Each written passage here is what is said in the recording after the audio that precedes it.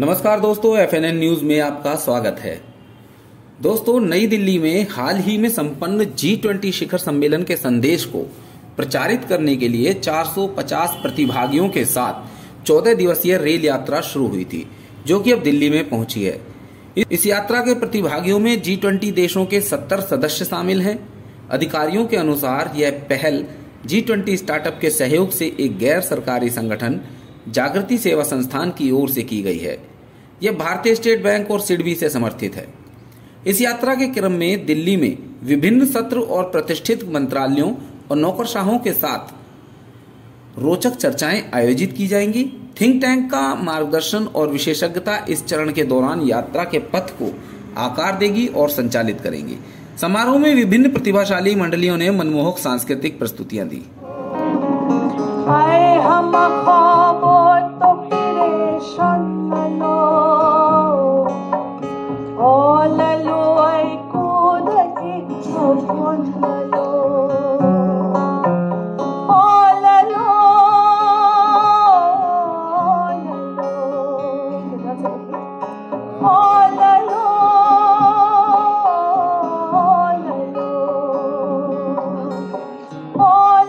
यात्रा के अतिथियों में भारत के जी ट्वेंटी शेरपा अमिताभ कांत और नीति आयोग के कार्यकारी अधिकारी बी वी आर सुब्रमण्यम शामिल रहे। शशांक मणि संस्थापक जागृति यात्रा के अनुसार। आपको क्या किस चीज़ से प्रेरणा मिली कि पंद्रह साल पहले हम्म। आपने शुरू किया? और उस समय सरकार की तरफ़ से आपको बहुत ज़्यादा प्रोत्साहन नहीं मिला होगा। नहीं उस समय नहीं मिला पिछले करीब दस साल में काफ़ी मिला है। मैं ये चाहता हूँ कि आ, मेरा ये प्रेरणा थी कि मैं एक आर्मी अफसर का लड़का हूँ। तो जब मैं भ्रमण करता था पूरे देश भर का, कुछ मेरी दिलचस्पी थी घुमक्कड़ी के धर्म अपनाने के लिए, पूर्वांचल से आता हूँ, वहाँ के लोग घुमक्कड़ हैं।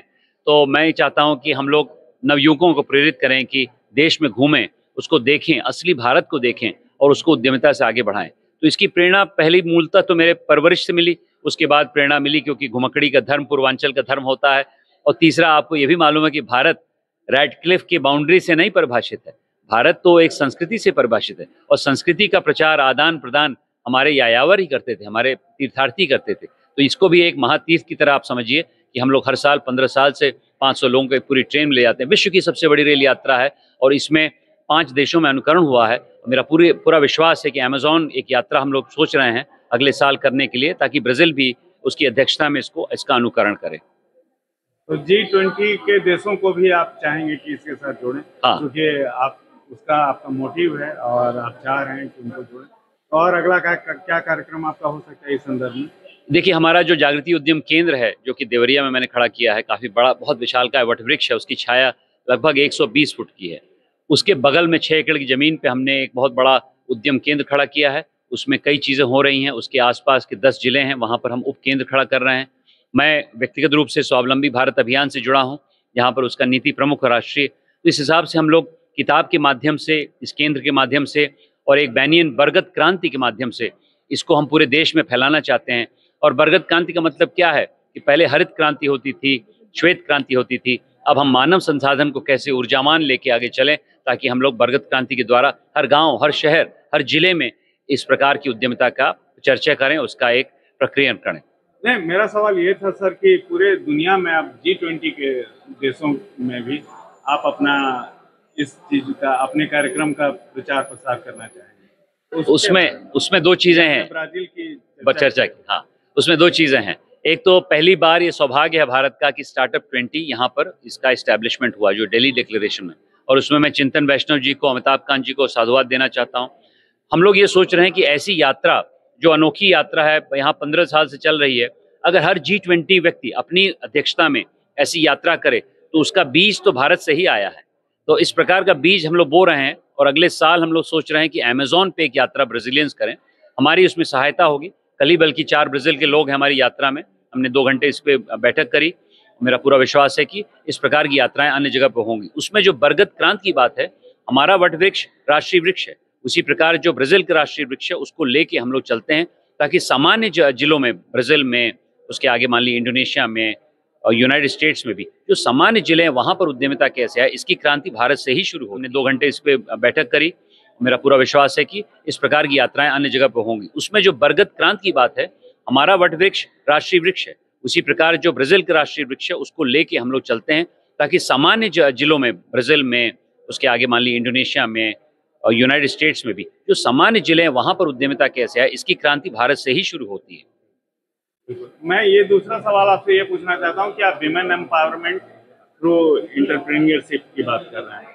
तो मुझे लगता है कि women are equally potent equally well educated और उनका कंट्रीब्यूशन समाज में है, लेकिन इंटरप्रेन्योरशिप के मामले में उनका अभी जो योगदान है वो काफ़ी कम है। तो इसको कैसे आप बेहतर करने की अपने देखिए, तीन मुद्दे हैं उसमें। एक तो मैंने एक शब्द क्वाइन किया था अंग्रेज़ी में कि women are balance sheet builders man are profit and loss people उसका ये मतलब है कि अगर सौ रुपये आप महिला को देते हैं तो सौ रुपये में से सौ रुपये वो अपने लड़के की पोषण में उसकी पोशाक में उसकी लड़की की पढ़ाई में खर्चा करती है। सौ रुपये बुरा न माने मर्द लोग लेकिन अगर छोटे गाँव शहर में किसी पुरुष को देते हैं तो बीस रुपये पान बीरी तंबाकू में चला जाता है। तो एक तो ये है यदि महिलाओं को आप आ, साक्षर तो कर ही दिए हैं लेकिन सशक्त बनाए आर्थिक रूप से तो उसमें ए, समाज का लाभ है। दूसरा महिलाएँ अपने स्थान को छोड़ के नहीं भागती हैं। वो वहीं रहती हैं, अंगद के पैर का दिमाग रखती हैं, सांस्कृतिक रूप से, सामाजिक रूप से, आर्थिक रूप से। और तीसरा जो अधिवेशन आया है, जो कि एक तरह से कॉन्स्टिट्यूशनल अमेंडमेंट आया है, उसने ये रिकग्नाइज किया है कि यदि 50 प्रतिशत आबादी एक साथ मिलकर मर्दों के साथ, ऐसा नहीं कि पुरुष को पीछे हटना है, पुरुष को भी साथ लेके जाना है, इससे मेरे हिसाब से दोनों पैर चलने लगेंगे। गांधी जी ने एक बार बोला था कि the world the India walks on one leg which is a main leg how do we enable the other leg to walk और आपको जान के बहुत खुशी होगी कि आज इस कार्यक्रम में साठ महिलाएँ अलग से देवरिया से कुशीनगर से ट्रेन लेके यहाँ पर आ रही हैं और उनका भी योगदान इस कार्यक्रम में होगा ताकि जब वो वापस जाएँगी तो देखेंगी कि सशक्त महिला के लिए हमने कितना बड़ा प्रोग्राम किया है बड़े बड़े लोग यहाँ पर आ रहे हैं इसका भी बहुत महत्व रहता है। जागृति मंच की तरफ़ से आप जो इंटरप्रेन्योरशिप के लिए आगे आने वाली महिलाएँ हैं और युवा युवा हैं उनके लिए आपका क्या संदेश हो सकता है मैं यही कहूँगा कि सबको उद्यमिता का धर्म अपनाना चाहिए। उद्यमिता ये मतलब नहीं कि आप कंपनी खड़ा कर रहे हैं, उद्यमिता एक मानसिक सोच है, जैसे सर्वोदय और सत्याग्रह था उस समय। दीनदयाल जी ने एकात्म मानववाद की बात करी, उसी तरह उद्यमिता भी एक सोच है, ताकि हर व्यक्ति, कोई ग्राम प्रधान भी है तो उद्यमी हो सकता है। एक तो ये बात कहूँगा। दूसरा नवयुवकों को नवित्यों को ये कहूँगा कि आप लोग अपने अपने क्षेत्र के जो अनेक समस्याएँ हैं, उसका समाधान वहीं कर सकते हैं उद्यमिता के माध्यम से। यदि आपके क्षेत्र में स्वास्थ्य की समस्या है तो एक क्लिनिक खोलिए उद्यमिता से। तो ऐसे कई कई चीज़ें हैं जो आप अपने क्षेत्र में ही कर सकते हैं।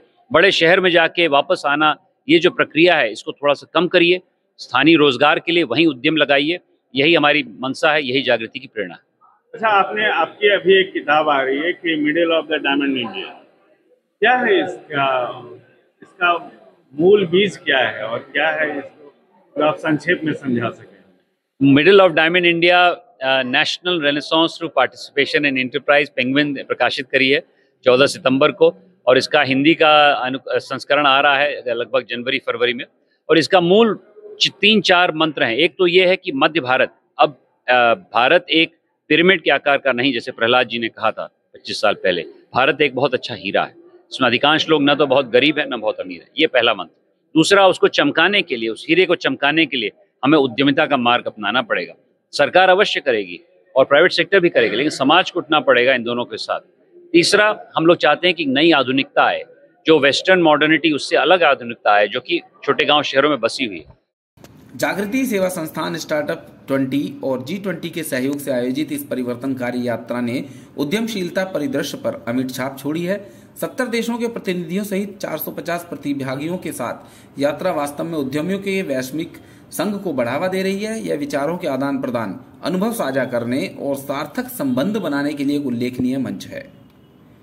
जी ट्वेंटी इंडिया 2023 के डब्ल्यू ट्वेंटी एंगेजमेंट ग्रुप के अध्यक्ष और इंदिरा गांधी राष्ट्रीय कला केंद्र के नियासी बोर्ड की सदस्य संद्रा पुरेचा ने इस बारे में कहा। आपका एफ़ न्यूज़ पे बहुत स्वागत है। और मैं ये जानना चाहता हूँ कि आप कला के क्षेत्र में आपका योगदान भी काफ़ी रहा है। मैंने जो भी बहुत थोड़ी बहुत जानकारी आपके बारे में इकट्ठा की। तो लगा कि आपने कला को अपना जीवन समर्पण कर दिया है? इस तरह की बात। वहाँ से लेकर ये जी ट्वेंटी का आपका सफ़र क्या है? उसके बारे में मुझे बहुत खुशी है कि कलाकार के नाते आ, मैं आ, संगीत नाटक एकेडमी की चेयरमैन बनी बनी हूँ और आ, मुझे ये मौका मिला है कि देश के कलाकारों की मैं सेवा कर सकूँ और देश की कलाओं कला को कलाओं को मैं अपने आप को समर्पित कर सकूँ। इसलिए बहुत सारे कार्यक्रम हम लोग संगीत नाटक अकेडमी से परफॉर्मिंग आर्ट में करते रहते हैं। जब जी ट्वेंटी हमारे भारत आ, के नेतृत्व में आई तब आ, मुझे डब्ल्यू ट्वेंटी यानी विमेन ट्वेंटी का पद चेयरमैन पद सौंपा गया और एक बहुत बड़ा चैलेंज था। मगर बहुत खुशी की बात है मैं ये कह चाहती हूँ कि हमने डब्ल्यू ट्वेंटी यानी वुमेन ट्वेंटी में ग्रास रूट लेवल वुमेन से लेके ऑन्टरप्रिनर ऑन्टरप्रिनर तक और आ, सभी आ, समाज के सभी स्तरों की वुमेन्स के साथ बहुत सारी चर्चा विचारणा करके एक आ, अच्छा सा कम्युनिके तैयार किया। And it is a very we are very lucky कि इस कम्युनिटी का सभी डिक्लेरेशन जी ट्वेंटी के डिक्लेरेशन में हुआ और महिलाओं के नेतृत्व के विकास के विषय पर पूरा जी ट्वेंटी महक उठा और आदरणीय, हमारे आदरणीय प्रधानमंत्री श्री नरेंद्र मोदी जी ने ये जो महिलाओं के नेतृत्व पर विकास पर पूरा ज़ोर देके 33 परसेंट रिजर्वेशन आज बड़े स्तर पर उन्होंने डिक्लेयर किया जो action speaks louder than only speech जो कहते हैं वो सत्य करके दिखाया और ये जी ट्वेंटी के लिए बहुत ही बड़ी गर्व की बात है। मैं ये पूछना चाह रहा हूँ कि आपको जब कला के क्षेत्र में थी तो आपको क्या मोटिवेट किया जागृति मंच के साथ जुड़ने का मेरा और जागृति मंच का नाता यानी कि शशांक के साथ का नाता बहुत पुराना है। जब वो लंदन रहा करते थे तब से मैं उनके साथ जुड़ी हुई हूँ और आ, एक आर्टिस्ट करके ही हम उनकी बीवी जो है गौरी, वो भी एक कथक नृत्यांगना है। मैं और गौरी बहुत अच्छे मित्र हैं और हमने बहुत सारे शोज़ एक साथ किए हैं और तभी से हम शशांक से जुड़े हुए हैं और शशांक की ये यात्राएँ हमने देखी हैं और ये जागृति यात्राओं में बहुत सारे अलग अलग विषय लेकर जागृति यात्रा हुआ करती है और इस साल ये जागृति जी ट्वेंटी स्टार्टअप ट्वेंटी यात्रा का आयोजन किया जा रहा है, जिसमें महिलाओं के नेतृत्व पर विकास विषय पर कार्यक्रम आयोजित किए जा रहे हैं। और मुझे बहुत ही आनंद और गर्व महसूस हो रहा है कि कम से कम साठ इंटरनेशनल यात्री इसमें जुड़े हुए हैं, जो कि जी ट्वेंटी के सदस्य है जी ट्वेंटी कंट्रीज़ के सदस्य हैं। वो है US Italy Germany France etcetera देशों से आए हुए बहुत सारे यात्री इसमें सम्मिलित है। और एक विशेष खासियत ये भी है जागृति यात्रा की, कि इसमें 40 परसेंट विमेन आगे आई हैं। यात्रा में सम्मिलित हो गई हैं। तो ये भी एक बहुत अच्छी बात है। और जागृति के अभियान के इस जागृति यात्रा के अभियान के संस्थापक श्री शशांक मणि को मैं बधाई देना चाहती हूँ कॉन्ग्रेचुलेट करना चाहती हूँ for this wonderful successful event thank you बहुत धन्यवाद ट्रेन पूरे देश में 8000 किलोमीटर की यात्रा करेगी। यात्रा 10 नवंबर को मुंबई में समाप्त होगी। यात्रा के माध्यम से प्रतिभागियों को अंतर्राष्ट्रीय स्टार्टअप पारिस्थितिकी तंत्र समावेशी प्रथाओं और नेटवर्किंग के बारे में जानकारी प्राप्त होगी। तो दोस्तों, कैसी लगी आपको हमारी ये न्यूज़ हमें कमेंट करके बताएँ, साथ ही लाइक और शेयर भी करें।